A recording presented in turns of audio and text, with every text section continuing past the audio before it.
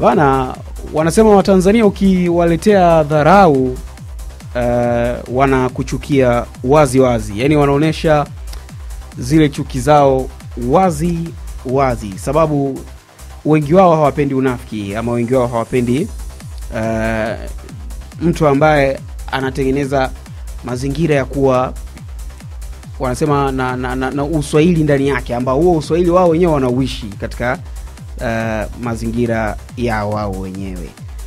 Sasa mchezaji wa zamani wa Young Africans na kwa sasa anaitumikia klabu ya Pyramid ya pale nchini Misri, Fisto Kalala Mayele amekutana na matusi unaweza ukasema ya kila aina ama kila rangi kutokea kwa mashabiki wa klabu ya Africans. Kwa mujibu wake yeye, baada ya kuchapisha chapisho kwenye mtandao wake wa kijamii wa Instagram akionekana kuto kufurahishwa na baadhi ya vitendo ambavyo yeye amekuwa akifanyiwa na mashabiki wa soka hapa nyumbani uh, Tanzania. Kitendo hicho kimemfanya Fisto Kalala Mayele kwenda kwenye mtandao wake wa kijamii wa Instagram na kuchapisha taarifa ya kwamba kuna baadhi ya viongozi ambao pia wameonekana uh, kum, kum, kum, kum, nadhani ni ku Wanamtumia maneno makali makali. Kumshambulia. So Mayele ameandika kwenye Instagram akaunti yake, anasema chuki ya nini? Mimi sio Mtanzania, mbona nilikosea kucheza timu za Tanzania ni nini? Huo ni ujumbe wake ambao ameuandika kwenye mtandao wake wa kijamii wa Instagram, na ukaja ukazaa yote hayo uh, hayo maneno ambayo yanazungumzwa kwenye mitandao mbalimbali mbali ya kijamii. Kwa nini mashabiki wa Tanzania wamchukie Fisto Kalala Mayele kama ambavyo yeye kwenye baadhi ya comment zake anaonekana kuzichapisha Uh, Mayele inawezekana akawa na chukiwa pengine kutokana na vile alivyoondoka. Haimaanishi kwamba ameondoka kwa kupigana au kwa maneno, lakini inawezekana wakawa wanaona ni mtu ambaye ameondoka, lakini kumsahau sasa imeshindikana. Sasa kama kumsahau imeshindikana, maana yake kunakuwa na maneno mengi, pengine ya vitisho mm. uh, pengine hata matusi. Na nadhani kuna uh, kipindi Tanzania imetolewa kwenye AFCON. Mm.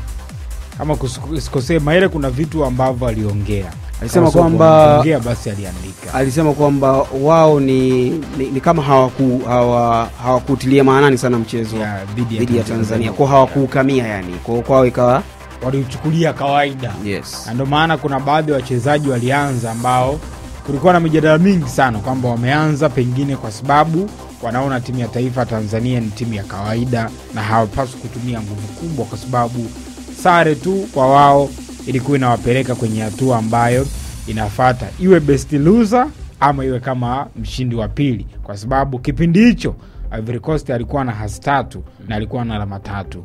Sasa mambo yalianzia pale ikaonekana ni kama mwamba alikuwa anawachukulia poa hivi uh, Tanzania. Sasa baada ya kutokea hiyo ishu, mambo yameendelea kuwa mengi zaidi, na Mayele ameandika kwenye ukurasa wake kama ambavyo uh, Musa Mkoningo amesoma hapo. mm-hmm. Sasa kwenye ukurasa ambao Mayele ameandika hicho alichokiandika, Haji Manara pia alicomment. Bwana Haji Manara pia alikomenti, Haji Manara Mm. Alicomment akamwambia, my brother please futa hii siyo nzuri.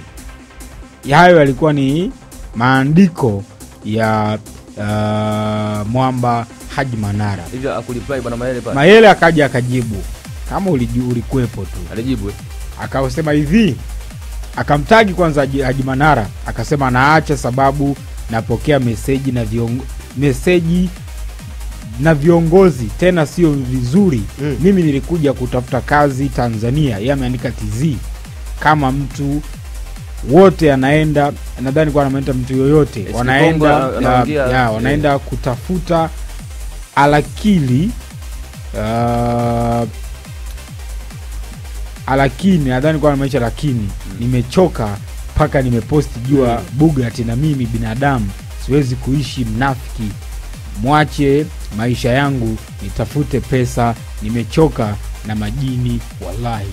Kwamba kwamba anatumiwa majini sasa. Itakuwa anatumiwa majini mwamba. na ame- ma- ame- ametoka na majini labda ni watu labda majini ameandika alafu- amechoka na majini. Sasa amechokaje? majini ameyachokaje? Itakana- itakuwa anatumiwa sasa. Unadhani kinachomponza fisto kalala mayele ni, ni nini kimwaga kwa mtazamo wako? Uh, kwa nini anahisi anachukiwa yani na watanzania? Wakati kuna wachezaji wamewahi kupita nadhani Bernard Morrison pamoja na utukutu wake lakini Yeah. bado ile love anaipata pia kwa mashabiki wa, wa, wa soka wote. Simba pamoja na Yanga. Amewahi kupita Okwi na utukutu wake uhuni ule wa kuzima simu na kadhalika. Haruna Nionzima pia the same. Uh, Heriti Makambo aliondoka Yanga na alirudi na akapokelewa vizuri. Lakini kwa Mayele anahisi kama anachukiwa hivi. Kwa nini achukiwe yeye? Ni uh, kinachomponza ni nini? Ubaya ni kwamba uh, mayele amepita tanzania kwenye kikosi cha young africans. Na mayele labda kingine ambacho kwangu mimi kinamchangani namna ambavyo anapokea jambo. Tanzania ukija kuangalia afrika ni miongoni mwa zile nchi tatu ambazo zina watu wanatumia vizuri sana mitandao ya kijamii. Mm-hmm. yaani ukiangalia nigeria tanzania na wenyewe pia wakosi katika hizo nchi.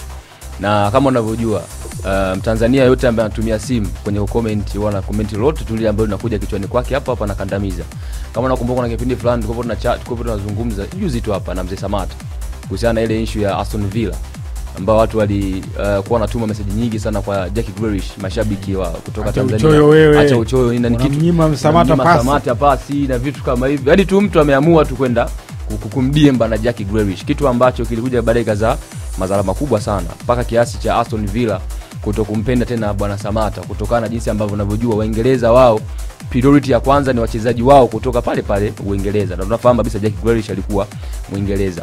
Kwa hiyo bwana Fisto Kalala Mayele, labda pengine kitu ambacho kina mchanganyo kwa upande labda mashabiki ambao wamekuwa wakimshambulia kwa maneno, kwa sababu unajua shabiki anaweza kuzungumza labda ah, wewe bana, wewe kwanza mseti mataifa hujafunga bao hata moja na vitu kama hivyo, akavichukulia katika issue ambayo ni kubwa. Lakini ukija kutazama hmm, sidhani leo hii Mayele akarudi Tanzania kwenye Young Africans, mashabiki hao wao wakashindwa kumshangilia kwa Mayele amerudi Tanzania, hmm, watamsupport sasa, watashangilia Mayele hayuko Tanzania sasa hivi, yuko pale Egypt, kwa maana yuko yuko pale nchini Misri. Focus inapaswa kuelekezwa kule Omari zaidi, kwa sababu ndio sehemu ambako anapata ujira wake kwa sasa hivi. Uh, lakini badala ya hivyo ameonekana kutengeneza focus kubwa sana kwenye nchi yetu, na hii nadhani ni kutokana na namba ya followers ama watu ambao wanamfuata yeye kuwa ni idadi kubwa zaidi kwenye mitandao mbalimbali ya kijamii. Ni kwamba anaamini yeye kwamba hakuna mshambuliaji aliyewahi kupita Tanzania ambaye amecheza kwa kiwango kikubwa zaidi ukilinganisha na yeye. Uh, kama ambavyo baadhi ya mashabiki wamekuwa wakimwataki kwa maana kumshambulia kwenye hili. Sidhani kama anaweza akawa naamini hivyo kwamba hakuna striker ambaye amewahi kufanya uh, mambo kama hayo. Ama hakuna mchezaji ambaye amewahi kufanya mambo kama hayo ninachokiona ni kwamba inawezekana anaona ni kama anashambuliwa sana katika vitu vichache. Moja kwanza yanga wajampata mtu sahihi. Na pili kula alipo kwa maana uh, ya, ya, ya, ya piramidi, Mm. hajapata nafasi ya moja kwa moja. Sasa kwenye nafasi ya moja kwa moja inawezekana kukawa kuna mazungumzo pengine yeye pamoja na viongozi wa yanga inawezekana au kiongozi yoyote ule ambaye pengine anaipenda yanga ama anatamani kumwona mayela akirudi tanzania kukawa na mazungumzo bana vipi unaonaje ukirudi? Inawezekana pale anapogoma mambo mengine sasa yanatokea.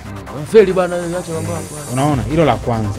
Lakini pia mayela anatajwa sana kwa sababu yanga bado hajafanikiwa.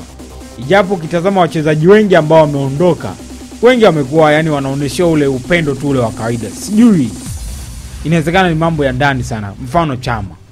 Chama alivyotoka nadhani mashabiki wa simba walikuwa kila, kila leo anamwimba uh, jose mixon ameondoka lakini bado washikaji walikuwa wanatamani arejee.